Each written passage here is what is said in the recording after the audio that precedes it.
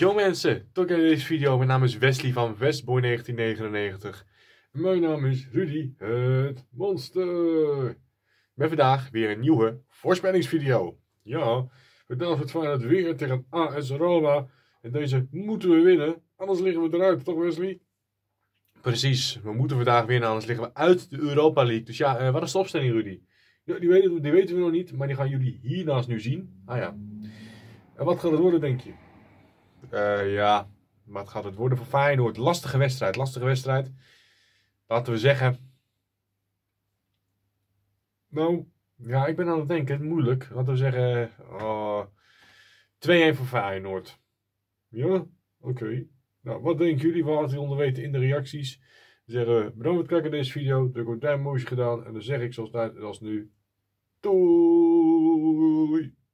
Later. Ja.